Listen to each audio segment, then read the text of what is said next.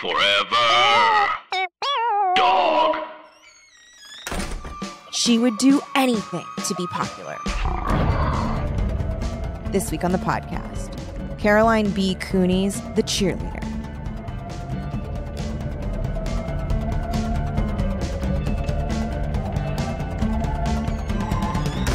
Welcome to Teen Creeps, the podcast that discusses YA pulp fiction. I'm one of your hosts, Lindsay Katai, I'm another one of your hosts, Kelly Nugent. and it's The Cheerleader by Caroline B. Cooney, Whee! which is the beginning of a series Yes, I did not about a that. vampire. Yeah.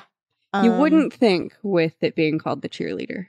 No, you actually wouldn't think that so little cheerleading happens in a book called The Cheerleader. It's a very different book from R.L. Stine's Cheerleaders. That was like cheerleading, Yes. cheerleading, cheerleading, Slight death, cheerleading. slight death in one very intense of death, cheerleading. cheerleading. This was like I, I liked this book. I did too. I thought it was really creepy. It is really creepy.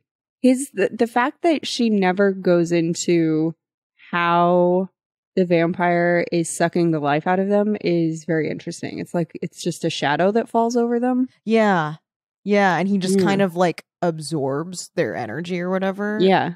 Um, I also like that he's ne- that the vampire is never fully on page. Yeah, he's not really a an entity even. Yeah, he reminds me of the Beast from um Over the Garden Wall, Yeah. where it's like this nebulous kind of like scary, spindly like thing. Shadowy Yeah, thing. but like there, she did have like details, right? Like his skin like looked like mushrooms. yeah, he's, like he decaying. looks yeah, and his fingernails are gross. like Nosferatu nails. Yeah. like long, Like he's long, long. classic vampire. He's on claws. Do you want to read the back of the book? Yeah. She wants it all, but he wants more. The cheerleader, the beautiful, popular girl who sparkles with energy and excitement, the girl everyone looks at with envy, the girl Althea longs to be. Althea is a nobody, invisible. She gets no phone calls, shares no laughter, has no friends, until she meets him. Suppose, he says with an evil smile, that I could make you popular. All Althea has to do is agree to a simple bargain, an evil bargain, and she becomes a cheerleader. But Althea wants more, and she'll do whatever she has to to get it.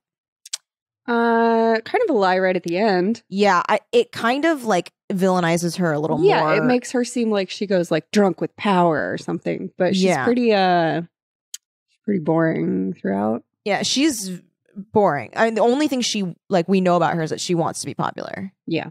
and that she has like a whispery voice. Yes, that's true. like this. Do we even know what she looks like? I can't remember. Uh, Dark hair. here we go. I'm like right here at the beginning with her. Um, Althea, Althea, gentle, demure posture. oh, that's Um, what I like to know about a character is their posture. demure. Is their posture is their demure posture? or slutty? um, Do they have the posture of a slut? so I feel like demure is like oh, your shoulders you know are the way she hunches. She wants it. yeah. Maybe you're like you like walk like like hips first if you're slutty or like chest first. Hmm. Um. Let's see. She stuff about her in middle school. Uh. Althea then becomes boring, which like frankly, aside from the fact that she has a vampire in her life, she's pretty boring. yes, that's her whole problem. But you know what the thing is? Yes. I like that she's so boring for this purposes of this book, where it's like, It does explain. Yeah, I think. Yeah, I agree. and because this book seems to pounce on something that so many people wanted, which is about like popularity, like, and popularity not meaning just that you're better than everybody, but because you're better than everybody, you have people in your corner, people care about you. Yeah. Other people want to talk to you because you've gotten a seal of approval. Mm-hmm. Yeah. I I do think it's funny how like basic a notion it is. He's like, "What do you want out of anything I could give you?" And she's like, "Friends." I know. And he's like, "How do you think you could get that? Like what would make you happy?" And she's like, "Cheerleader." I know.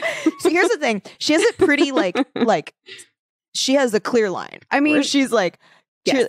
I do like that when she's like friends. I feel like the vampire's like, "Woo, okay, Like, all right. oh, this is darker than Oh, I that's thought." easy. Uh, I thought maybe you'd want to be the richest person in the world, but uh, yeah, I can make you a cheerleader. I I think it's so Althea is boring. Yes. Has a cool name. She has a cool name. Um but I did I, I found her really endearing and this was and I sort of felt a kinship with her when she like just wanted everyone to be happy. Yeah, She wanted Michael and Constance to stay together. She was like, they're too beautiful a couple for me to want Ryan and Michael to fight over me. She's and like, yeah, I'm fine with just Ryan. And I, just want to be Constance's friend. She's so pretty and nice. at first, yeah, because wasn't she like lusting after Michael at first, and then yeah, that she, was like, the first boy who mind. occurred to her. And Yeah. then Ryan started showing her attention and she was happy with that. And then Michael started showing her attention and it was mm, implied heavily, probably, that the vampire arranged for Michael and Constance to fight Mm-hmm. to try to drive Michael to Althea. Yeah. But because they really were in love, like it, they were being drawn back to each other, Mm-hmm. and Althea's like, I'm fine with that. That's right. That's as Yeah. it should be. I also felt such a kinship with her, to borrow your phrasing. Um, when so she becomes friends with Becky. That was the next thing I was going to say. Oh. And when Becky calls her and she's like, Oh, to have a friend call you at night and to be able to have someone to talk about the day with, I was like, Girl, oh, Ouch. ouchie, ouchie. She really, like, it wasn't just, it wasn't vanity. No, she it was wasn't sad. wishing to be popular out of vanity. That's the thing I just realized. That's why she is likable. It's because she really, she just wanted friends. She just wanted people to talk to her. She wanted it to be like when she was in elementary school and friends were easy and she had Jenny, which is another very sad thing. Oh, Jenny. Um, Yeah. but the other thing I was going to say about Becky, where I was like, you're such a good person apart from feeding your friends to a vampire, Yeah. was when, so Jenny has already been eaten at this point, and Becky and she are going to have a sleepover.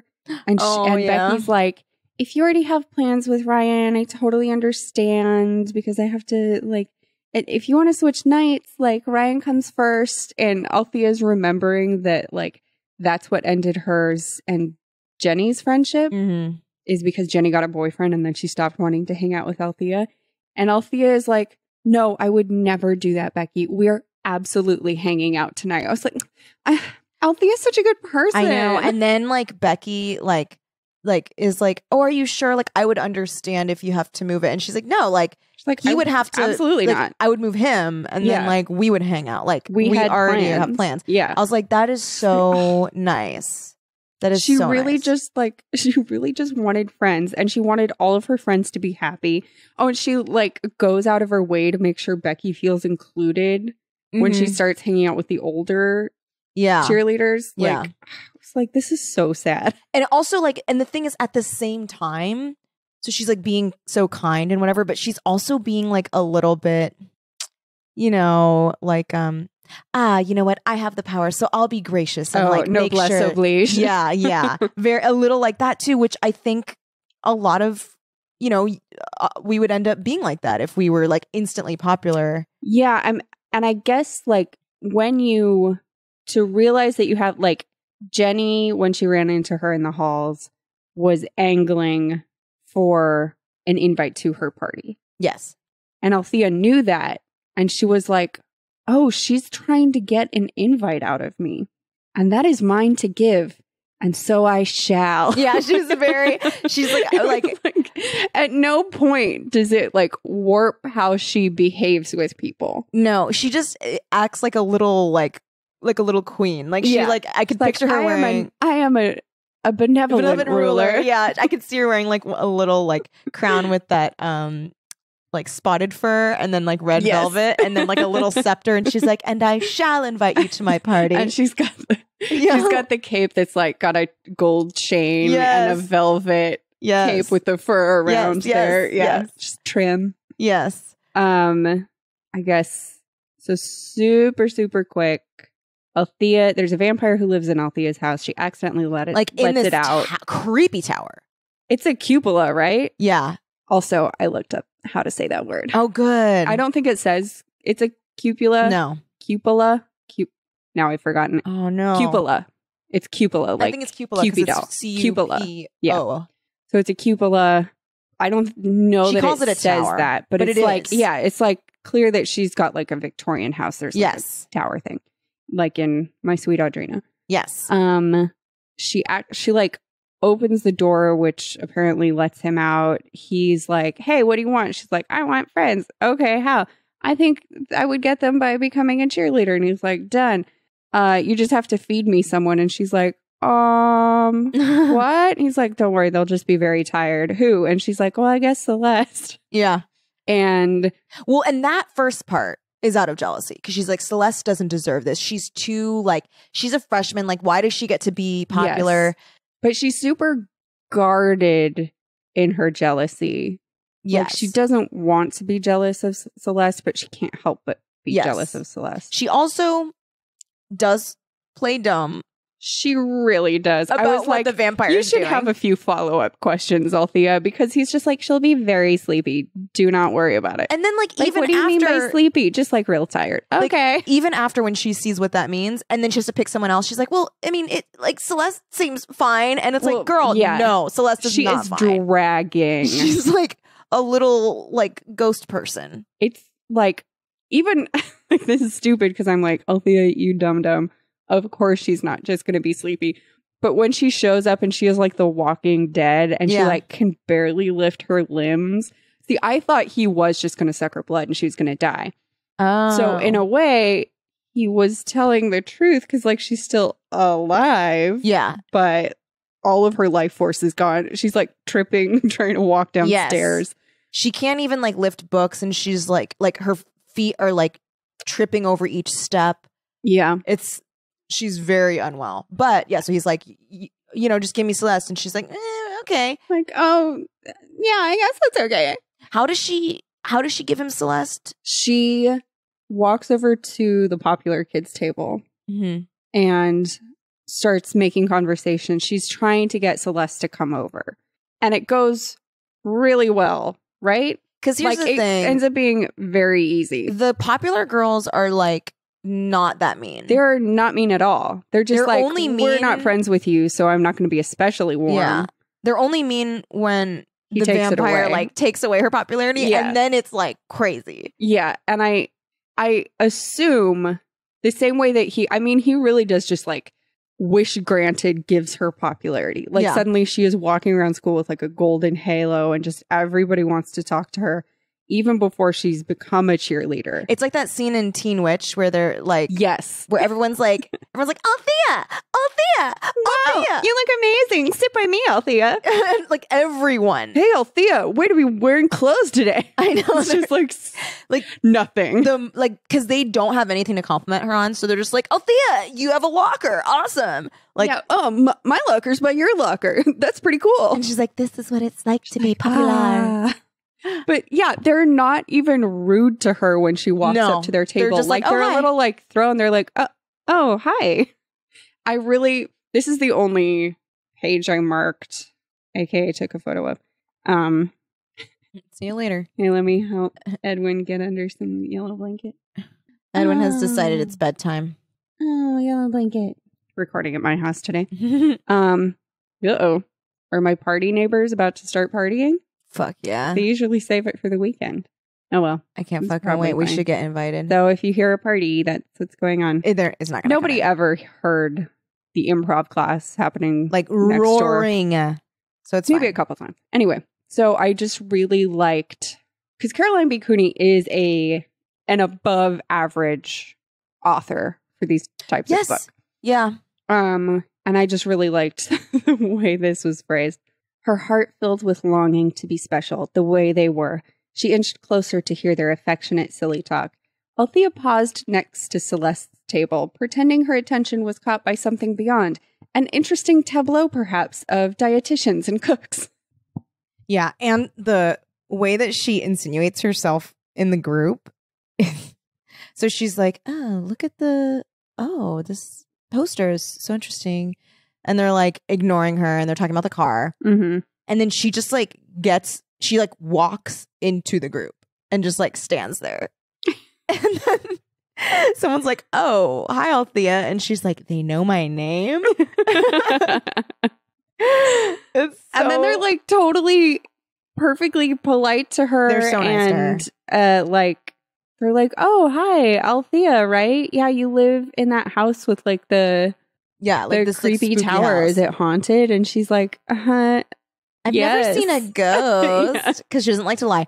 Also, the way she talks is really funny. Like she's like, um, so she's trying to get Celeste to like want to come over to her house, and she like Celeste like mentions like, so so they're like, oh, is it haunted? And she's like, I've never seen a ghost, and then so they stop being interested, and she's like, fuck, I have to get their attention back.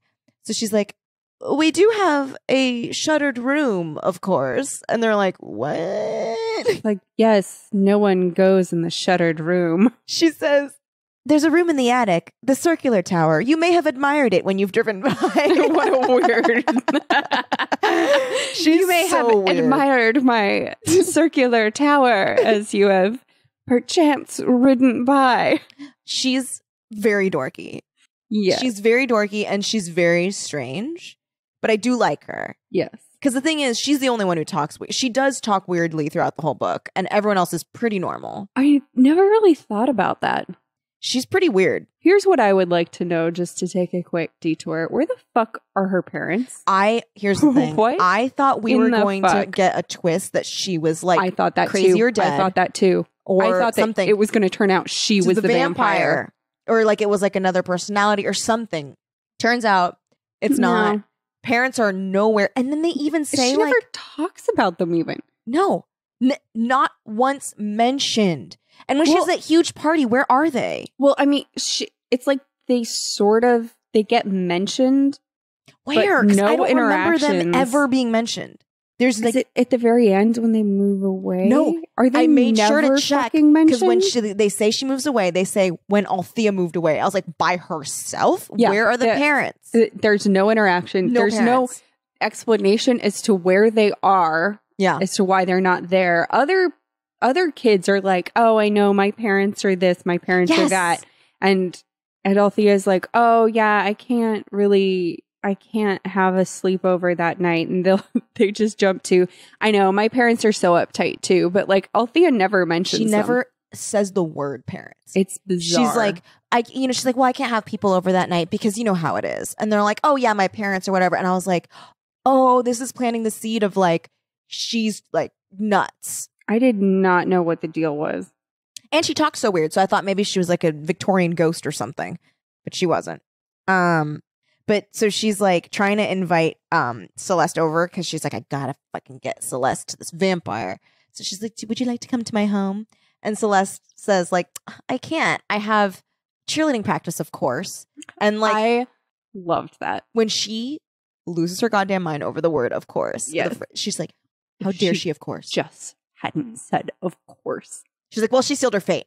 Yeah. There was nothing I could do. She said, of course, so of course she's going to the vampire. Like how how brazenly she said the words, of course. Like as if I should have expected that. Like I have cheerleading practice, of course. it was like, yeah, 'cause of course. of course.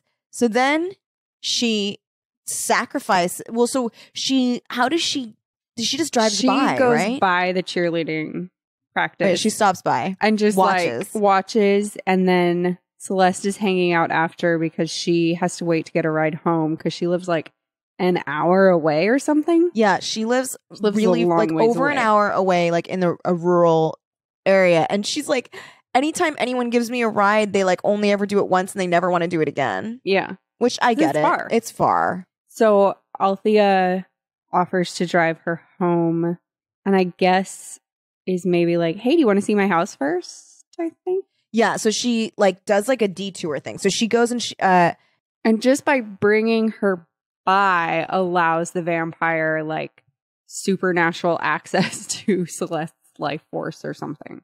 All she has to do is bring him under his like shadow. or- right.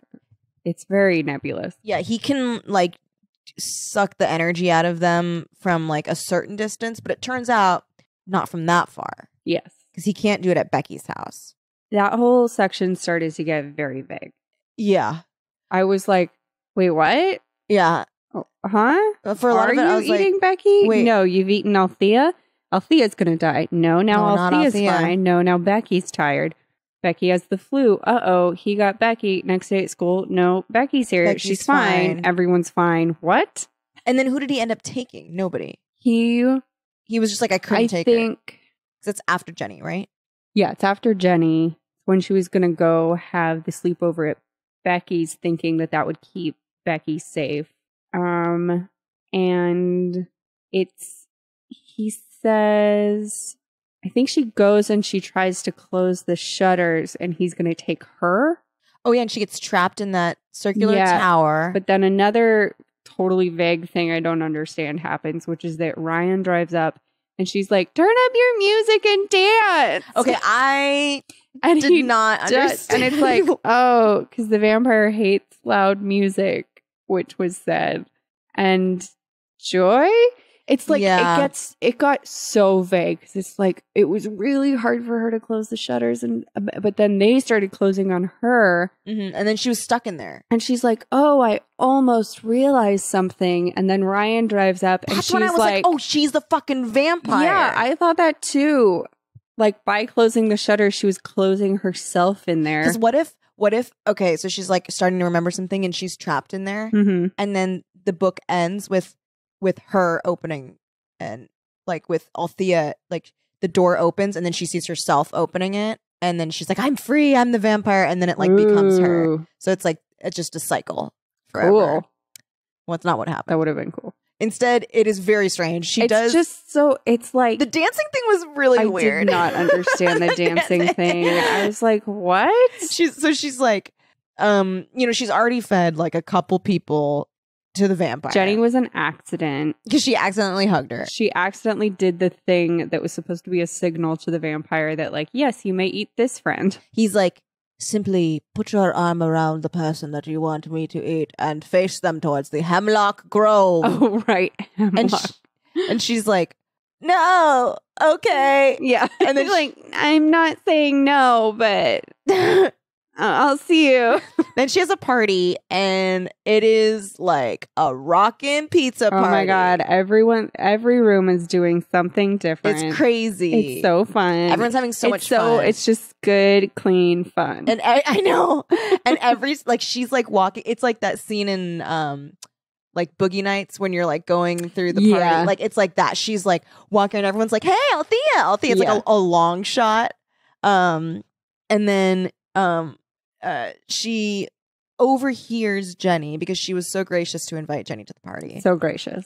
and jenny's like talking about like oh my god back when we were in middle school we used to Eat a bunch of Cheetos. I don't know Oh, yeah, what it was was. something it like was that. something like, like oh, marshmallows a- until we oh, puked or like something donut eating contest. That's what it was. Very fresh teen fun. Good, clean, white bread American fun. Yes. And all the other teens are like, oh, you can't be serious. like that's wild. And she's like, you know, I was always friends with with Althea from the beginning. And then she's like, Like- ah, let's hug. And they like, run. It's like let's be best friends again. What even came between us? when I'm like, girl, you know what came between you. Yeah, you did. Yeah. So then they You stupid bitch, running- Jenny. You're a bitch. That's the thing. Here's the thing. When people first start dating someone, I'm always like, I understand you're in La La Yeah. Land. You get to be in, like, you're going to blow people off for this Yeah. person. But Jenny's reaction was cold. What was it? It was oh, something it was mean. along. it was it was mean. It, was wasn't mean. just I'm breaking plans with you in favor of a guy. It was like grow up. This is how it is. You choose guys. You're just not. You don't understand because you don't have Oh, a that's guy. right. She's like, you you're never. too young. Yeah, Like, you're stuck in like junior high or whatever. that sucks. I feel like really maybe sucks. she shouldn't have been so villainized. Like, I feel like she could have just been like, Althea, like, you understand, right? Please, like, I really want to go out with this guy. Please, please, you, know, right? That like guys come first, and then like Maybe it was more like that, but I was reading no, no, no, no. She was mean. I Okay. remember because she was like, "Hello, Althea, you ugly lump of blob." Like, God, don't you, know that? stupid chunk of flesh? Yeah, like, grow a penis and then maybe I'll care. yeah, like guys like when guys pay attention to you, not that you would know because you're so ugly, you have to put them first. And then Althea was like, What? I don't you want to eat donuts with me anymore? and she's like, Ew, donuts. I don't eat that anymore. I only eat cock. So she says that she says that. exactly. Exactly that. I was reading it from the book. Yeah, Um just a really weird passage, kind of out of nowhere, it's very weird. especially considering like like we said, it's such good, clean fun. It is very but then there's that passage where she talks about eating cock. Yeah, that's like it's like it's really unnerving. it's really yeah. Yeah. It's uh the room it was a unnecessary. unnecessary. Hey guys, Kelly here. Wanted to take a quick break from our show to talk to you about one of our sponsors, Stitch Fix. Look, y'all, it's the beginning of 2019 and you've got to treat yourself. Is one of your New Year's resolutions to look and feel like the hot banging mama that you all are? But at the same time, are you wanting to get some time back? So that way you can get back to writing your Twilight fanfic that you hope gets turned into its own crazy spin off series? But at the same time, are you wanting personal styling tips so that you can feel like a fancy schmance when you have a personal stylist telling you expert advice just for you? Enter Stitch Fix, an online personal styling service that finds and delivers clothes, shoes, and accessories to fit your body, budget, and lifestyle. All you have to do is go to stitchfix.com slash teen creeps. You tell them your sizes, what styles you like, and how much you want to spend on each item. You'll be paired with your very own personal stylist, Mama's Getting Fancy in 2019, baby, who's gonna handpick items to send right to your door. Then you try them on, you pay only for what you love, and you return the rest. Shipping, exchanges, and returns are always free because that's the kind of lifestyle that we're living in 2019 right now. There's no subscription required. You can sign up to receive scheduled shipments, or you get your fix whenever you want. Stitch Fix's styling fee is only 20 bucks, which is applied towards anything you keep from your shipment. So get started now. Go to stitchfix.com slash teen creeps and you'll get an extra 25% off when you keep all the items in your box. That's S-T-I-T-C-H-F-I-X dot com slash teen creeps to get started today. Stitchfix.com slash teen creeps. And now back to the show. And so then she's like so excited that she gives Jenny a hug. They like, and run across Daisy the house from each other to the like kitchen. clasp Yeah. arms. And then here was And Althea's like, oh, hooray. Everything's going to go back to the way it was. I've missed Jenny so much. Yeah. Also, okay, this was where the technicality I was about to be like on Team Althea, where I was like, but Yeah. did she turn her to the hemlo- hemlocks? I don't think so. They were just was happened to be facing that way. were they? Maybe they were And- facing. Well, I think it's unfair. Wouldn't he be like, here's how it should have gone? Mm-hmm. He's like, oh, good, she chose. And Althea's like, no, no, no, not her. And he goes, oh, okay. Yeah. Oh, that was a mistake. All right, Yeah. well, choose somebody else. Yeah. At that it's just point, mean. Like, you're depending on her for food. hmm Make, keep her happy. She is your Yeah. source of food. Quit trying to eat her friends. Just have her bring over people she doesn't care about as much. Maybe it's like there's something with like the energy from that person where it's like because Yeah, remember maybe. later he's like, I want Becky, and she's like, No, I want Constance. Oh I yeah, want she's the like, "She's ones you want the most. Maybe, or maybe that's it. Maybe Althea's feelings for them Yeah, like, it gives them more power. fattens them up Yeah. with life force. which would make it even cooler if she were the vampire, which she's not. Yes, it would. But I do, I did like when she was like, "Who was that dud of a girl that was sitting next to the fridge? I could have just picked Yeah. her." I could have picked any old girl. And it was like this, like I don't even know her. poor girl that just like came to this party. She goes home. She's like, "Hi, mom. Hi, dad. I'm home. How was the party? It was really fun. I made a lot of new friends. yeah, there was this girl throwing her. Her name's Althea. Everyone loves Althea. Anyway, I'm gonna go to bed. and the whole time Althea's like, "It should have been her." She's just living this completely blameless, Yeah, clueless life. Like, wow, I love Althea. Well, She- she grew up to be a vet homework. tech. Yeah, She's saved a lot of animal lives. Her name is Sharon. Yeah. that was Sharon. That was Sharon. So if you know Sharon and she's a vet tech, uh, that was Sharon. close call. Could Yeah. have been vampire food. Very close. But the vampire wants more. It wants Becky. So That then doesn't quite happen. it doesn't quite happen. Becky's like, "Hey, um, you should come over." And so here's the thing. I know, I know that like she had a crush on. It was Ryan that ends up being there. Yeah. But part of me as a reader, I was like, "Oh man, I wanted them to just hang out. I didn't like want him to be there." Yeah, I assume that was the vampire running things. Like, Yeah. oh, I'll send Ryan her way. So, like, she's busy with that. I'll leave Becky. It's Yeah. fine. Also, Becky, where she's like, she's like, um, okay, everything's gonna be so fun. Actually, I invited Ryan over. Um, You're and I'm- welcome. you're welcome, girl. Get your sled on. yeah.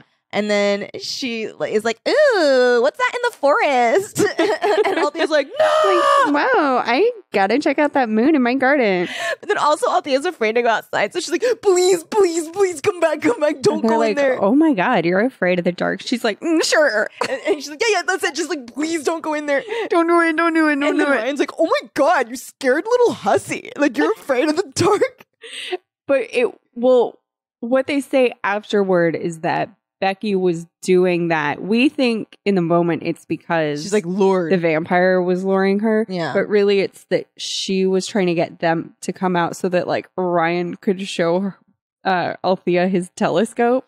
yeah. And that And it was like, okay, make out in the garden. Yeah, that sounds fake, but it's real. Double entendre. Yeah, is is real. He like literally wants to show her Yeah. his telescope. Uh, and so, and then she was going to go back inside, but instead, Althea thinks that the vampire is there. Yeah. So that that makes it the second time she's had a fit trying to save somebody from the vampire. There are a couple times where she like has a fit trying to save someone from Full fit, like fit. full on fit, and her friends are like, "Oh, Like, okay, but then the vampire makes them forget it. yeah, So that her popularity remains intact. yeah," because they are just like usually like silent for a full minute after Yeah. she has a fit, and then And The then vampire just makes them accept forget. whatever she says. yeah, yeah, Um, so yeah, she gets saved. Oh yeah, she thinks that somehow she's defeated the vampire, has like a blissful vampire-free week, yeah, and then he's like, "Just kidding, I'm back." And she's like, "No, you can take my popularity away from me. Now I know I don't need you." She thinks she's like set, so he takes it away, and he's like, "Good luck, bitch." and it sucks. And he like he not only takes it away, he like makes it so people are rude to her now. people are so mean to her. She's like got bad luck. She like falls in a puddle or something. yeah, no, she yeah, her car Her won't car start, won't she start. literally She, falls like, in an ice truly puddle. falls in a puddle. she gets to school. No one remotely knows her name. Yeah. And like she she's like, Ryan, oh my god, I'm so glad to see you. I like had a terrible morning. And he's like, ew. Like I don't know you and I don't care. And she's like, What? And then she tries to talk to Becky. She's like, Becky. And Becky's like, Oh my god, get away from me. Yeah, so it's definitely not like he just took it away because we saw them be perfectly normal and polite to her. He, did something like, else. He made it so that she is not just invisible, she's unpopular. yeah. Yeah. Yeah. The So that she's like, just kidding, just kidding, please, please, please, please. yeah. And, then he's like, all right. Like, okay, but you have to bring me Constance. And she's like, mm, uh, sure. She- I know that. she really waffles on that. She's like, she decides she's gonna try and do it, and she's like, "Why don't we all like hang out and go to my house in the car?" And then everyone's like, "Okay." And Celeste is like, Everyone is like "I'm sorry, not Celeste." more than okay. yeah, they're like, "Great." they're like great because like weirdly i have like an insatiable need to see your cupola Also, like Constance is like, "Ooh, the hemlocks are creeping me out." Like she does get a vibe, but she's like, "No, I need to like go She's like, through with it." but i want to see them i want to see the i want to see the cupola and then at the last minute, she has a fit in the car, this is her third fit and they're like, "Ah!" And she's like, "Let me out! Let me out of the car! Let me out!" And then so they let her out, and, and um, it like turns Ryan against her. He's like, "Fine, if you're gonna be such a like weird bitch, I'm gonna like kick you out of the car." which again i think is not a genuine reaction i think that's vampire So then she gets kicked out, and then she's like doing the thing where she's like struggling through like molasses trying to close these. yeah and he's like taking away Shutters. popularity again So then, okay, here's the question: yes let's talk about the dance scene because I do have questions. One from earlier. Yeah. The when Ryan's dancing. Yeah. So how does how does that Mhm. make the vampire go away? I don't know. Okay. so he shows up in his know. car and she's like, "Play that rock and roll music that hurts my ears." As loud as possible and dance. so then he does it. for her. And somehow that lets her out. Yeah. She's like, "Oh, and then I realized the door was always open and I was able to get out of the tower." And I have no idea what that had to do with anything. No, I don't think there was anything. But it is definitely implied that that frees her somehow. the joy of dance keeps yeah, the vampire away. I don't know. Like he does say when she's getting ready for the party that he doesn't like loud music, but I don't Oh yeah. I don't know why the dancing. He didn't have to dance. He didn't have to dance. And I don't know why like it's like it said, oh, she almost realized something. And I'm like, okay, what did she almost realize? I mean, I know what she means it to be at the end, but I don't know what in that moment is close to the realization that she comes to. Yeah, because like I guess the thing that like big picture, Yeah, she's like supposed to realize is is that she she defeats him in the end by oh yeah. It- this is also like like a weird like okay, this is kind of a technicality in getting away with this cuz she's like oh, okay, like you can have me but you know just one last time can I can I just feel what it's like to be popular again? I just want to feel it. And it's like and he laid the popularity over her like a dress yeah, and she once again like felt the warmth and magic or whatever of Yeah. the popularity and then she goes i don't want it he's like what what you can take your stinky popularity and shove it what are you talking i don't want your gift so and in rejecting it then he weakens and she's able to leave yeah, and it's not just that. So she goes back to being regular Al- Althea, but she's not like reviled. Mhm. But she's also like nobody remembers her. She's like, I'll make friends the old fashioned way. It's like, yeah, welcome to the beginning of the book, also she's like she's like um I'll get on the cheerleading squad and I'll be the most popular girl in school and I'll deserve it. And I was like, you think those other people deserve to be popular? Like it, it was so like yeah. it was like it was just so Like you're still not getting the big picture. yeah Which yeah. is that like just make friends. I mean, she does she does realize she's like, yes, it was stupid. I just need to go about making friends like everybody does, which is like to be nice and caring and friendly. And so it is it's like she grows in that like she was feeling super sorry for herself at the beginning of the book.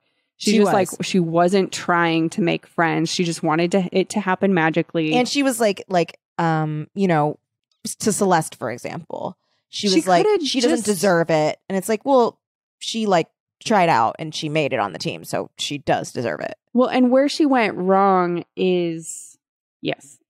Where she went wrong is like Celeste was starting to become her friend. i know So She had an in. Just keep going with being friends with Celeste. yeah Instead of like trading Celeste for magic. yeah Um however, ultimately, even though it's like great, Althea, I'm so happy you've had this realization. Congrats. Um you still like ruined Celeste and Jenny's lives. so are they still I like think sucked they're up Still sucked up. here's what i thought Maybe not. maybe not because he like dis- dissolves or whatever Yeah, because he gets weakened. And if nobody's gonna remember, give me your book. Give me your book. Give me that okay while you're looking for that uh-huh. Can I tell you what I hoped would happen but didn't happen? So she's like wandering around the cafeteria and she sees like the sleepy rejects table, which is like all the people she gave to the so sad. and they're just like sitting there eating. I thought she was Like- gonna like become the queen of the rejects. Like I thought, I thought she was, gonna, sit with them. She doesn't. She does not. no. She's just like, oh, that's sad. I did that. Oh well. Yeah. She's like, mm, anyway, I have to get somewhere. Yeah. She's like, I have to get popular. Oh gosh, I'm so busy. I have to run a whole giant house by myself. As you see, I have no parents. So, yeah, As you see, I'm just a Victorian orphan. Mm-hmm. Um, da, da, da. Yeah. resolve, warmer, hotter, sterner than popularity filled her heart and mind and soul. I reject your gift, said Althea softly. I'm getting rid of it. You can't do that, said the vampire. Althea smiled. The smile inched down her body, giving strength first to her face, then to her shoulders, her heart, her arms. The vampire's teeth went back into his mouth. He looked alarmed. That's your source of power, isn't it? She cried. When weak people take what you offer, you become strong. You would have had no power if I had the courage to ignore you. Strength from understanding crept down into her legs. Althea kicked his black cape away and stomped on it. She began laughing. The vampire took a step backward into the tower room. I won't let you do it to others. Blee, blee, blee, blee, blee, blee, blee, blee, blee. She, she cries, You are nothing, and I am a match for you. And he goes back in the room. here's, so here's a part where I was like, What? Mm. Um, so she leapt forward. The vampire hunched over into a ball like a porcupine hiding its soft underbelly. Althea grabbed him. She took her popularity and pushed it against him, shoved it on him, wiped it on his face and his clothes. She mopped him with it. That I was like, huh? I don't know how that. Happens. just. And she I says, just- there, she said, it's yours again. I just pictured her like rubbing her torso on his face. Yeah. Just be like, "Yeah, you or take like this." just taking her hands and like, just Yeah, like rubbing smearing. them in his face. Um, Did you hear about this? That during, I think it was uh maybe a screen test. I'm not sure. Lady Gaga was wearing like natural stage makeup, and Bradley Cooper wiped it off her face. I What would you do if somebody wiped your face? Yeah, I did hear about that. and I had the reaction that you had, which was look, I know it makes a cute anecdote, but go fuck yourself. Yeah, like no, don't touch my face. don't fucking don't touch my fucking touch face. my face. It's if you want to have a conversation with me Yeah. and suggest that I go in with no makeup on, yeah, great. yeah, sure. Stay away from my face. Don't fucking touch my face. Here's an it's similar to the other anecdote that um Amber Heard shared about uh t- Momoa, Jason Momoa on the set of Aquaman. So she had um she's a bookworm and so they had a lot of downtime on set and she always had to be sitting in this like little harness thing and um the set guys like made a little pocket for her to keep her book in so she could read all the time. And Jason Momoa was bored. And so he was like, pay attention to me, pay attention to me. No. And she's no, like, not a book. yeah, Not yeah. not And- not to a reader. Yeah, and then she she was like, "I'm reading," and then he ripped out the rest of the pages of her book and was like, "Now you have to pay attention to me." And she shared that story That as if it was cute. a cute story, and I was like, Oh my god. or I maybe she's being like smart. She's trying to blow up his my spot. mind. She's like, "Oh, this was really cute that he did this." Dot dot dot, and then like I'll let the public then decide. like enjoy tearing him up. yeah, but like, That is in. Oh my god! If somebody took a book of mine, you do not touch my fucking book. don't do that shit. You may as well take my phone and throw it in the water. Yeah, Like, are you fucking kidding me? You're gonna disrespect my book that much? I know. And also, like, that's my property. Like, don't destroy my shit. I'm like, I will choose how to spend Yeah. my time on set. Thank you. here's okay. Here's a caveat, and I proposed this on an episode of Same Day Shipping. Is the only way that this is okay. So he rips out the pages, right? hmm And then he like reaches into his coat, and it was all a magic trick. And he gives you your book, and then he's like, "Okay, do you want to talk?" I do close up magic. I'm Jason Momoa. Jason Momoa, close up magician. yeah, that is the only That's thing the only way. that Where would have been like okay. it is a weird magic trick that he does. or he like he takes her book and he rips up all the pages Mhm. and then he brings a book out and he's like i'm just playing i have the same book here you can have mine Okay, yes, and then she's like my dad gave me that book and he signed it in the back happy birthday amber and he's dead now and then he goes, "Check the back of your book." and then again, it was close up magic.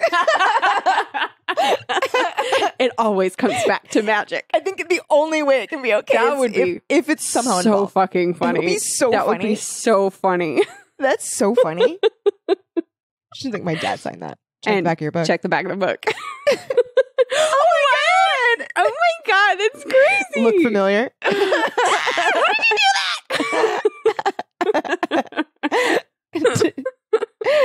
I, I feel like we like it's weird to hear two of those stories in a row where someone's like, "This- "Isn't this a cute thing that someone did?" and you're like, "No, this is horrible. yeah, This is a bad story. Like this Yeah. person's not a good person." yeah. It's crazy. I mean, I know that like it's really frightening when you hear somebody tell a story where you are like, "Oh, that's like um the worst thing I can imagine." yeah, but they're like trying to say I mean, as far as thing. like casual interactions Yeah. go, like, "Oh, uh actually they were being really insulting and um that cute nickname you thought was cute was actually a racial slur." But yeah, yeah, uh okay. yeah. It's usually it is Like, usually I don't want to steal your joy from you, but that's a horrifying story.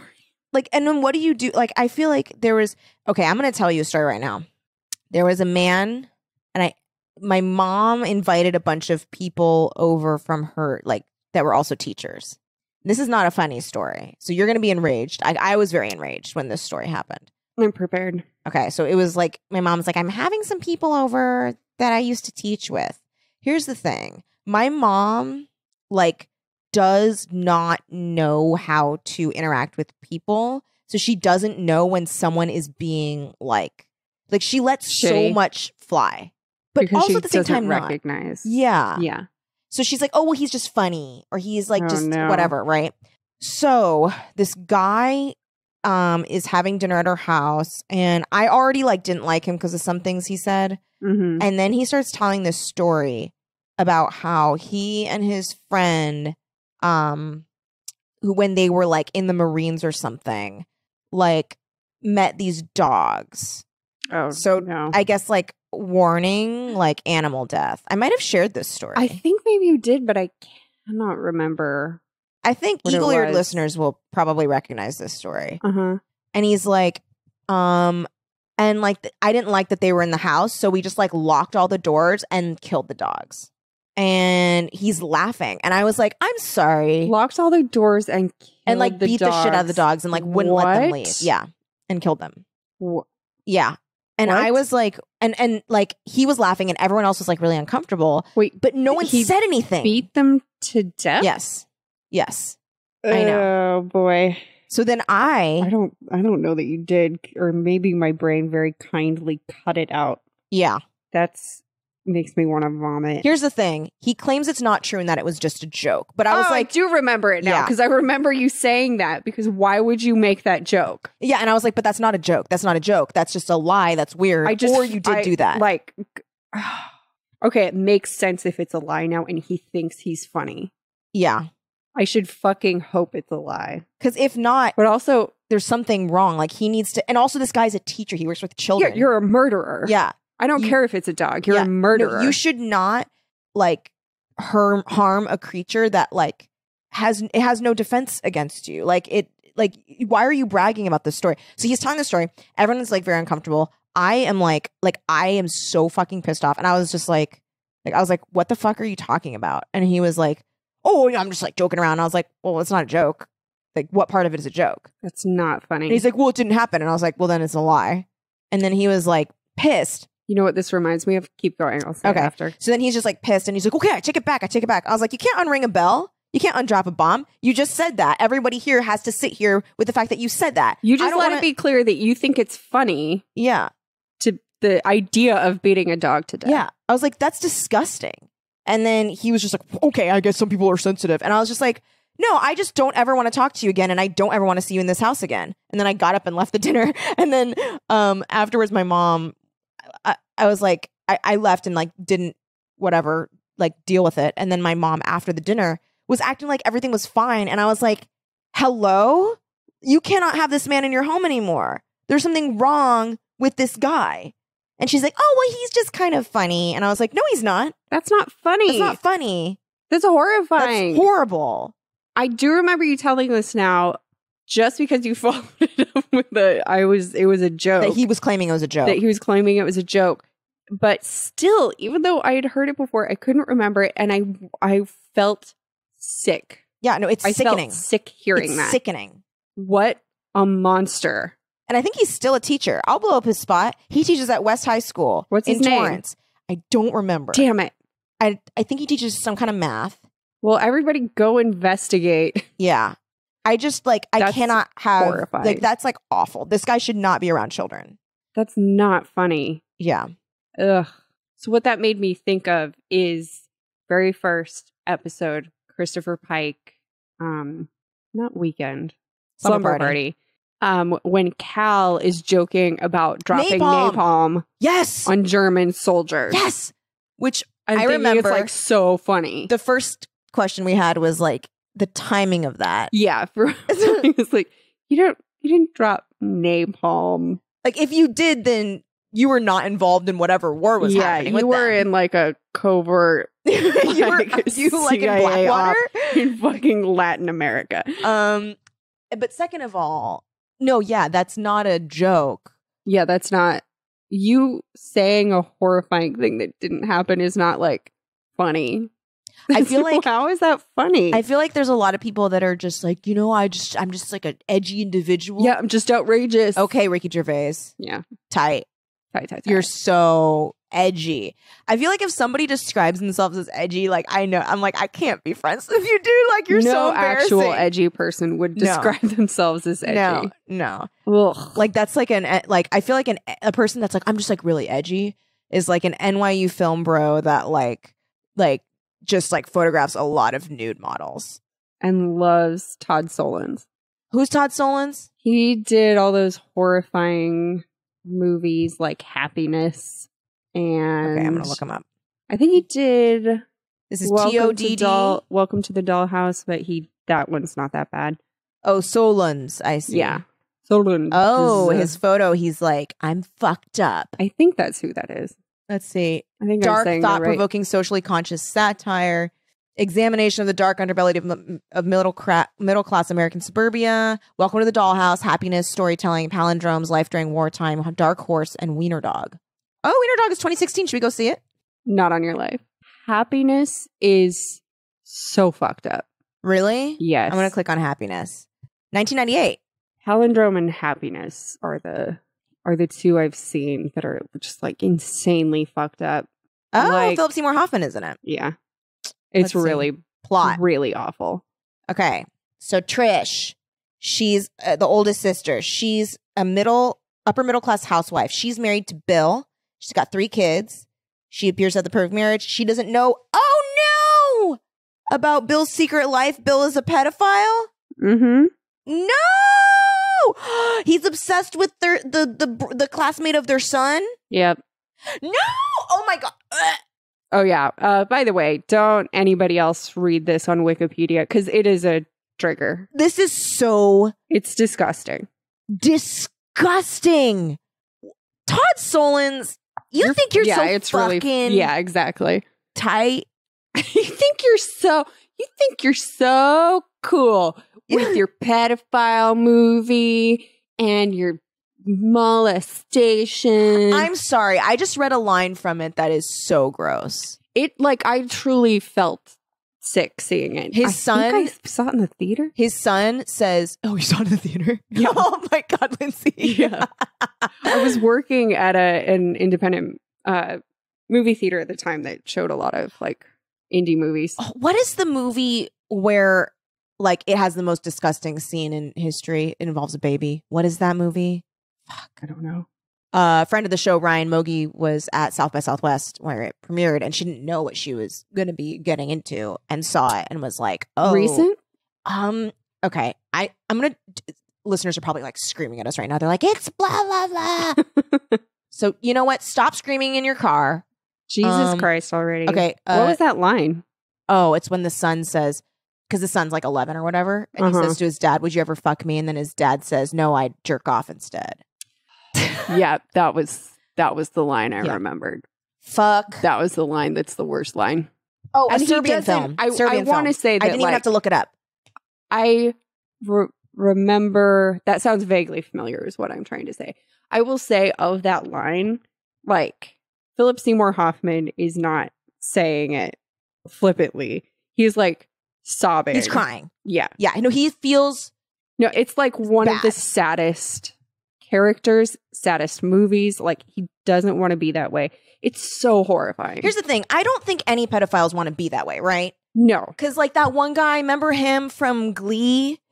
Oh yeah. He killed himself from shame because um he got Yeah. outed as being Child a pedophile. porn. Huh? Was it their child porn or? Yeah, Yeah. kitty porn. Okay, this is uh a Serbian film. Mm-hmm. Well, uh, Here's the thing, guys. For the listeners. Yeah, perhaps. like just don't. There is an extended scene. I guess skip forward like three times. If you don't want to hear this, there is an extended scene where he, where a man fucks a baby. don't do that. With movies like this, Don't do it. No one. You're not saying anything important Yeah. by doing that. I don't want to sound like you're like like you know someone's like uncle at Thanksgiving, but like just ha- like just have some like decency, I guess. Like, well, like you can say you can get across whatever message, say whatever you want to say, make whatever like social statement or critique Yeah. you want to make without having to do that. yeah, I Yeah. like the people who are like, but then you really get the visceral. It's like, no, you are in a way glamorizing this for entertainment. mm-hmm. Um, I was watching. well, you're exploiting it. yeah, it's, it's It's disgusting. yeah, it's gross. I don't like it. And here's the I thing. Don't need it. I and here's the thing. I I, wa- reject it. I watch a lot of shit that's fucked up. I and I enjoy a lot of fucked up things, and I love horror, and I love all of that. But like, there, I mean, There are lines. there's a line. There is a line that I'm just like, I'm not interested. I don't need to partake in that. I don't need to see the a It's like, Serbian I film. can't. Or I can't happiness. really put my finger on why rape is worse than murder. Like to watch, Yeah, like why I'm okay with something slashery, hmm but I'm not like, yeah, I'm fine watching a rape because it's not real. I can't. I yeah. can't. I don't enjoy that I don't want to. I think it's because it's like we eh, we're talking about like like there's like gender politics and there it, it and it, signifies also kind of a a very extreme visualization of like su- a person being completely I don't know. I don't It's know like- what the difference it's like is. watching so- someone get hollowed out. yeah. we're just like watching Well, here's this th- another thing too. I don't like torture living porn. death. I don't watch like Yeah. Hostel or that shit. So it's like Yeah, similar it's for that. me. Yeah, It's that. Whereas like slasher films, I'm okay with, or like even like very gory things, Mhm. I'm fine. But like, on Outlander, the Jamie rape mm-hmm, gets shown quite a bit. mm-hmm. Or yeah, yeah, I think so. Um, but and I I sort of kept watching. Like I didn't watch any of season three and like half of season two because after Frank died, I didn't give a shit. Mm-hmm. Um, because the actor who played Frank and Mhm. Jack Randall were he was really good. Um, and I was like, these other people are boring. But I jumped back in because now their daughter Brianna went back in time. Oh, I was And I was seeing like, previews about that. I want to see what this yeah. this is interesting again, even though she's boring too. Sorry, everyone. Um, but she get, she gets raped like so quickly, so quickly within getting to that time. Like she Really? she appears in Scotland, fucking Laoghaire, like she runs into her and she's crazy still. yeah. Um, and Wait, Laoghaire and is. Laoghaire's the 16 year old girl who was in love with Jamie and Oh, tried to get yep, Claire yep, killed yep, as a witch. Yep, yep, yep, yep, yep. Um, he ended up. There's so many spoilers. Sorry, guys. He ended up um marrying Laoghaire because she was widowed, and he wanted to help take care of her daughters. Who is he? Oh, sorry, Jamie. Really? Like- Fucking twenty years go by. what? 20 years go by in the books and show.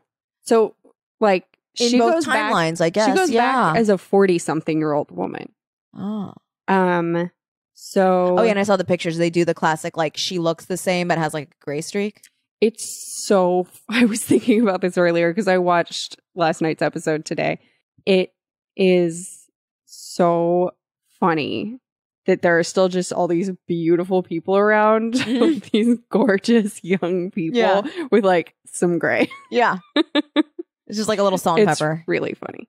Um, but I was very happy with how they handled it because it's like the the um confrontation starts to happen between her and the character who rapes her and and there's a fight and she's trying to get away but then it cuts outside and you're just watching his like he uh is like the captain of a ship and so Yeah. you're just watching his crew sit there and do nothing Yeah.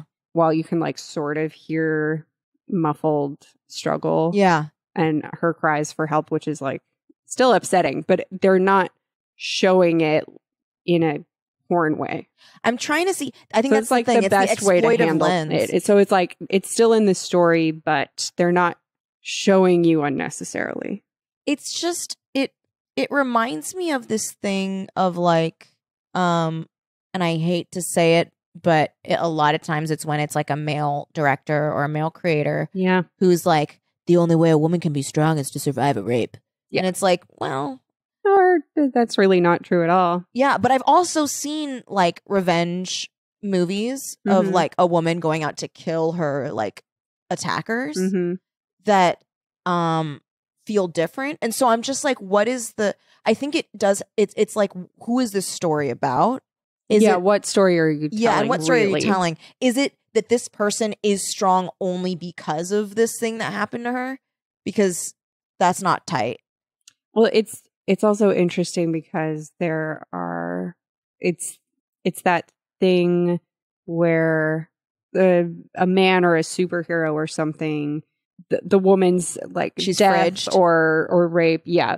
girlfriend in the fridge thing um that's what like sends them on their journey i to fucking hero hate that shit hood i hate the and whole it's like it's it's the same for a woman even and it's her but it's Yeah. like her being shoved into a fridge yeah yeah i think yeah i, I th- there's it's like there about are other ways. Yeah. Just because it's a woman who like who it's the catalyst for Mhm. doesn't make it okay. I know. And I think also, and then there's kind of the question, right? Of like, but there are people who experience like a rape or sexual assault who are changed because of it. And then how do you, like, It's weird because of course these stories exist. So Yeah. isn't it okay to tell them? And I think it just depends on how you tell them. it does depend on how you tell it. Cause I think if you, if you tell it in a very Hollywood flashy, like, wow way, or uh, just a very exploitive way. And it's one of those things where it's like, I can't tell you exactly what about a scene makes it seem exploitive,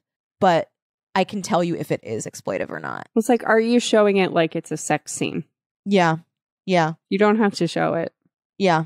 Um, what else was I going to say about that?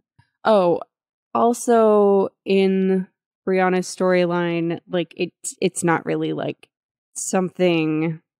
It's not done in such a cliche way of like, oh, and that's the thing that she had to go through to Yeah. become Yeah. stronger. Like Yeah. instead, she just like has to deal with the fact that like now she's pregnant and she doesn't know if it's her rapists or her boyfriends. and Yeah. all these other things get thrown into place. So it's just the story continues as opposed to like that's what made her her strongest. Yeah. Yeah. I, yeah, I think it is It's like rape doesn't give you magic powers. I think it just depends on if it's well done or not. That's just what it comes down to. Yeah. Just well done or not. Yeah. And if it's not well done, it's usually tacky and exploitive and like just like weird and Here's And what it's- Outlander has told me. Yeah. Has taught me. Do not go back in time. don't do that. it was terrible. Nah, dude. it was terrible. Here's the thing. you will get raped or murdered or bad things happened all the time to everybody. yeah. And also like That's what Outlander has taught me. a thing that Outlander taught me by, I guess, proxy, because it didn't go out. It, it taught me. It didn't mean to t- teach me this, Mm-hmm. but it was something that I kept thinking about. mm-hmm. Back then, it was nasty too. Yeah. Like people were not brushing their teeth. They were not cleaning their asses. I always think of that while Yep. I'm watching these shows. I'm like, everybody smells. And Everybody It smells. smells very bad. Very and they bad. all like you can die of a toothache. Like that's fucked up. Yeah. And then also, I mean, we talked. We we if you guys want to hear more, because we did Outlander for outside, Outside genre, right? If you want to hear more about that, you can listen to our outside genre episode available on Patreon, patreon.com slash teen creeps. But I will do this teaser where like one of the things that you and I were losing our minds over was the time that Jamie tries to go down on her after they've been riding horses all day. and she puts a stop to it and is correct too. Yeah, because it's Because you and I were both like, no. wait, no, no, no. But remember, he wins her over by like doing what horses do, which is to like deep inhale.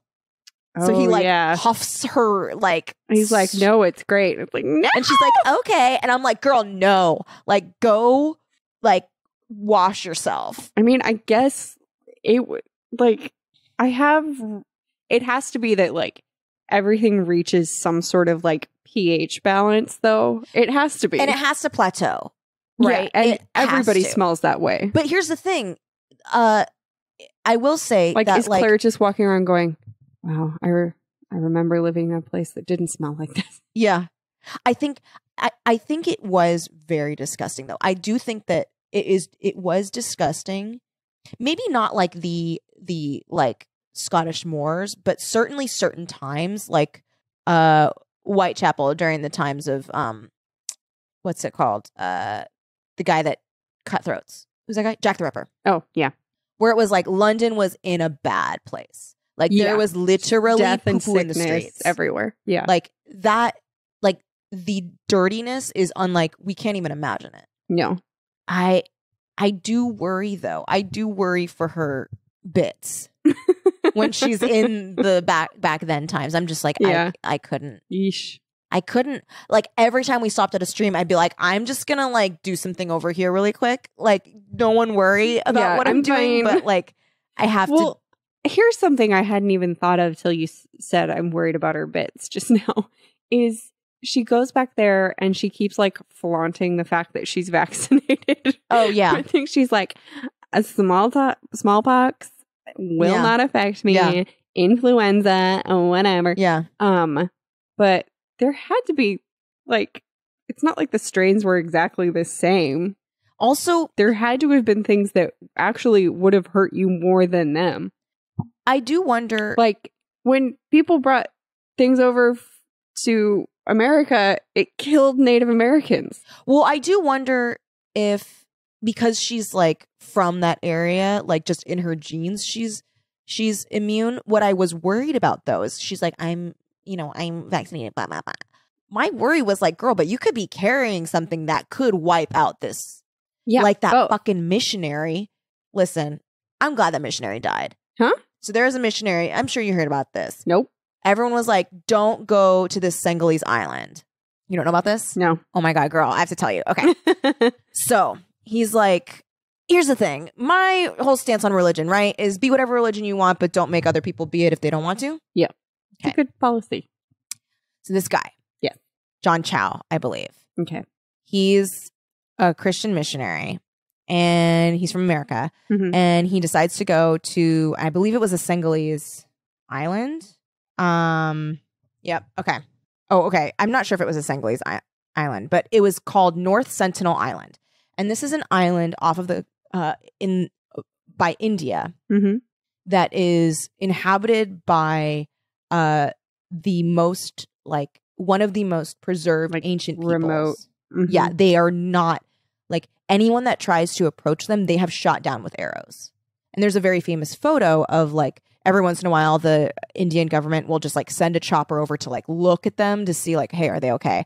And there's a famous photo of Are you like guys okay? yeah, We're fine. of a native like aiming an arrow at like the photographer. um, so they are just like very like aggressive, leave us alone. yeah. So it is against Indian law to set foot on this island for many reasons.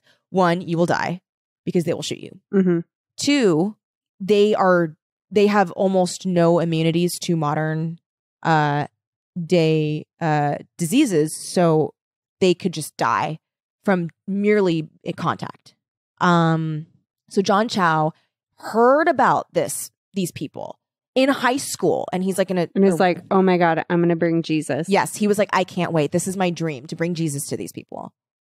So it's illegal to go to the island. So he has to bribe these fishermen to get him to take him to this island. They they're like, we're not going to the fucking island. We're gonna drop you off on this little like sloop and you can get yourself to the island. So he starts to do that. He's like approaching.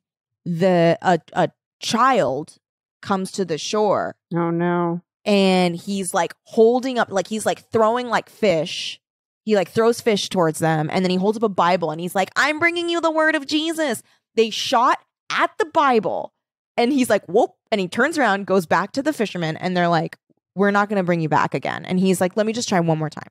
So they're like, fine, but like, you're going to die. And he's like, Jesus will protect me. So he goes again and then instantly is shot down by like 30 arrows, dies.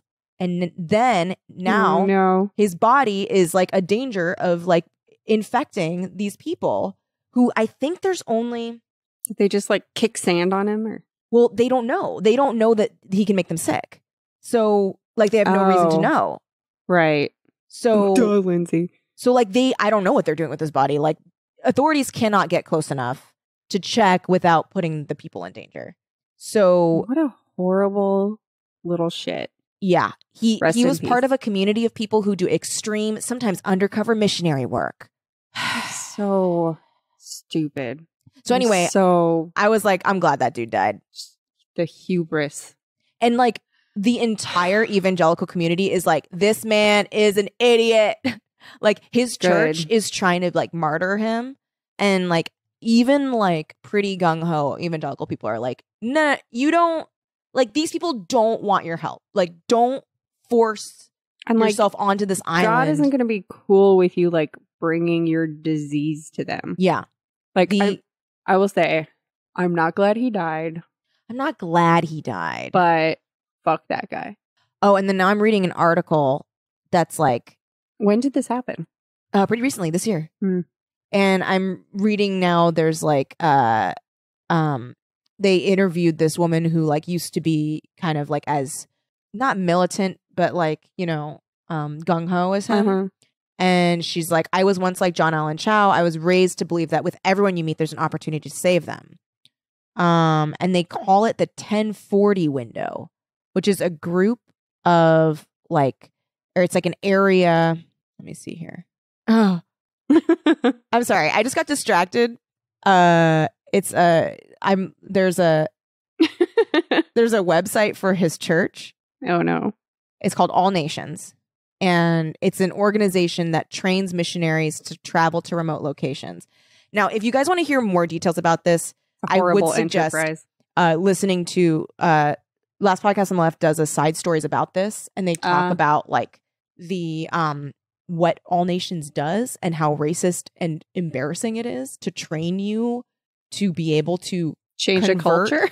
yeah basically to erase a culture. Mm-hmm. So they like put you in the woods, and then they dress up in what they think is native garb and speak a nonsense No. language at you, and you have to try and like get the word of Jesus to them. That makes no sense. It's so you embarrassing. can't replicate that situation. no, because then you're just in the woods of Missouri. Because then what's the training? No. LARPing? Yeah, it's LARPing. Like that's like saying You- D and D is training. It is a LARPing if you yes, it's D and D if you only play as a um uh fuck, what's the one that is like super religious? Uh uh uh it's a type of usually a type of paladin, I think. Isn't it? monk. N- Monk? Monk. Um, that would be like if suddenly I refused to speak English to you right now, And you're and I was like, "Now try to convince me um to worship cheese." Oh, you know what? It is monk. You're right. It is monk. But monks are more like magicy, and then I think, yeah. Oh, cleric, Ah, cleric, yes. cleric, cleric. My nerd cred just flew out the window. Um, but yeah, no, yeah, it would be like if you were like just speaking gibberish to me. and then And- by the end of the night, I was like, "This was lesson one." it's not like I can say with any like definite authority that like I am. So, what's the barometer of how successful you are? exactly. There's I not like a English. curriculum. It's exactly like you would still understand what I'm saying. like I can turn a switch in my head and stop understanding Ugh. English, it was it. It would be like or if I- like it, any of Western culture. Like what? it's so embarrassing. an insane. it's insane. It's insane. That's sad. But so their their like thing though is um I was the thing I was laughing about was uh their like phrasing on their website is pack your bags, come to CPX and get your world rocked by Jesus. oh no, no. Oh, here we go. At one point during a training, he was blindfolded and taken to a remote location where a group of people pretended to be hostile villages armed with spears. Well, he sure experienced that. He did, actually. What a fucking. That man's blood is on all of their hands. What a horrifying thing Yeah. to like brainwash people into doing Yeah. And then put a whole fucking culture at risk. That's Mhm. terrible. It's like the hubris Jesus involved. Christ. Truly. Mm, I don't think he approves. I don't think he approves. Yeah, it's it, it, it but that whole story, I was like obsessed with that story when it came out. He like he gets to heaven and Jesus is is waiting at the gates. He's like, "Hi, I actually don't meet everyone at the gates. Um, you're not allowed in. Yeah, I I came here for this. Hi, no, Absolutely Here- not. you need to have a seat, son. Mm-hmm. We need to talk." But then, and then like, he like turns his chair around backwards oh, nice. and like he's straddles wearing, it. and he's, wearing like, "Hey, Birkenstocks. let's wrap." And then John Chau gets sent down to hell, right? Yeah, And the devil's like, "We're too tight to have you here. Like this is like a cool place." he's like, "Where am I get to supposed to, go?" here. And he's like, "Oh, there's this like church called 1040." and he's like, "No." he's like, "I go back," and then he opens his eyes and he's the trainer. Oh fuck. And then Jason Momoa is like, "Is this your card?" and then he wipes all the makeup off And your goes- face. and he's Lady Gaga. oh my god. Uh well, I think we covered the book. Yeah, so that's the cheerleader. That's the cheerleader. I liked I it. forget- where did we? We yeah, we just left off. That she Oh. defeats him and she I'll moves. just yeah. So the very last moment of it is um this sort of like little shop of horrors ending where it's like sure she left, but like he's still there in a little Mhm. plant. Um, so I'll just read the end. real quick. acolyte. That was the word I was looking for. I'm sorry. Oh, acolyte. Yes, okay. that Thank is a you. word that makes sense. Yes. Um, so she says, or it says, I have stopped him, thought, Al- thought Althea, but what matters more? I stopped myself. True. True. True. She walked down the stairs, walked out of the house, walked into the yard in the sleet and the ugly dark. There were no threats. There was only weather and winter. I have no friends. I will have to make friends the way other people do, one at a time by being nice. I'm not a cheerleader. I will have to get on the squad the way other girls do, by practicing hard. Someday I will have it back, but I will have earned it. It will be mine, and I will never have to give it away. I will deserve it. The house is still there, although Althea moved away. See? The Where are the hemlocks. parents? Where are the fucking parents? Where are the fucking parents? Where are parents? her parents? You know what? That's the question always. Where are the parents? They're on North Where's John Sentinel Chau's Island. parents? John Chau's parents. Yeah. Mhm. Blah. The hemlocks are taller, thicker, and darker. When night falls, cars do not drive by and strangers keep their distance. Two winters have damaged the tower. One of the shutters has come loose. It's banging against the tower as if something inside hopes to get out. The house is for sale. It will appeal to somebody with children, somebody who needs plenty of space. One of the children might become curious about the tower, play with the shutters, and find a vampire. A vampire who needs a victim. A vampire who is used to waiting and winning. That's the end of the book. I think it's a good end. That's a good end. Um, it is very like, oh, or is it? Yeah. Yeah, dot, dot, dot. Just waiting and used to winning. Yeah. But I liked this book. hmm Yeah. Me too. Caroline B. Cooney's, uh, she's a winner, She's a good author. much like a vampire. She's used to winning. um, I suggest that book. Uh, thank you guys so much for listening. We really appreciate it. yeah. And leave some more reviews. I actually, oh no, I have them. Okay, we'll do it next week. I saw that a lot of you, there are a lot of new reviews uh, for Pocket Hap- I forgot. Table uh, Pocket Jalapeno Dip. Yeah. Um, oh no, they're on my computer, which is right here in front of me. oh. Okay, okay, okay. So oh my God. Do you know what we should do after this? what Listen to some voicemails. can we with the setup we have right now? Oh my God. You know what we You should, do, next week? Listen to Listen some to voicemails. some voicemails. Hey, you guys. Big apology for the, how long we've gone not listening to voicemails. I can lay the blame firmly at the feet of public domain Yeah. We simply have not had the time trying to record both podcasts. Yeah. Um, but as you may know, we decided to end public domain theater. Um, next week will be our first week um, not recording it, and we were sad to see it go. We hope that some public domain theater listeners have crossed have crossed over to the other side Yeah. and are listening to us now. If you are, uh, thank you very much. And now we can get back to um, going on more tangents, such as talking about Todd Solondz and uh, misguided missionaries. um, Those two are like such opposite ends of the I spectrum. John Chau. I'm not Todd sure how we got there. I'm I barely understand how we got to Todd Solondz. yeah. Something about being edgy. Yeah. Um yeah, so now we don't have to keep Teen Creeps to such a tight timeline and we can go back to playing voicemails. So yeah. we're so sorry that we have ignored that for so long. Yeah, we are sorry. Um, okay, so uh, here's some shout outs to the people who have left reviews referencing farm to table pocket jalapeno dip. uh, Sh- Schmandy Kane, Fran loves books, Tallulah Tubman, GDM81, Lil Gwynny, Lillian GB. Well, Gwenny sounds familiar. Yeah, Lil Gwynny. I might have, here's the thing I was reading them in a bad order on my phone last week, so there might be doubles. But I feel like I've maybe a username on Twitter or something. mm, mm, Lil Gwynny. Continue. Lillian GB, Jackie Marie, Mahalahan, Erica Hassink, J Pipe 28, Chex 926, Candy Apples, Cramber Tramps. Oh, Cramber Tramps is from last time. I remember Cramber Tramps. Yes, that name. that's a great, That's a great that's a name. great name. Um, thank you guys so much for leaving those reviews. And um, if you leave any reviews in the future referencing farm to table uh, pocket jalapeno dip, some of you referenced avocado dip. That's fine. I still gave you a shout out. You'll get a shout out. I'm the one Um, who said avocado dip, right? Yeah, you thought it was avocado canned avocado dip. I don't know.